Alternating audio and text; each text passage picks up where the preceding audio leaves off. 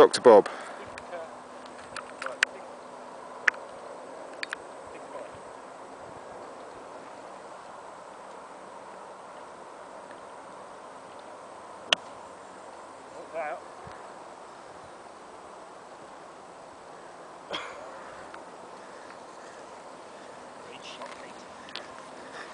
Now that is what I call magic.